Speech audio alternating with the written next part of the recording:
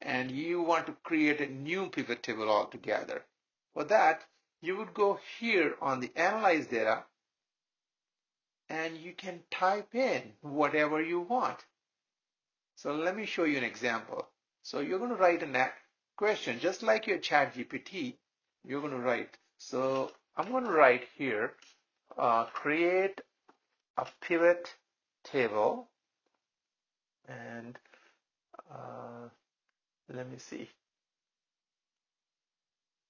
With region state and category showing sales. Just a descriptive thing. And here it is. It shows me a pivot table. I can just click on insert pivot table. And it has created me a pivot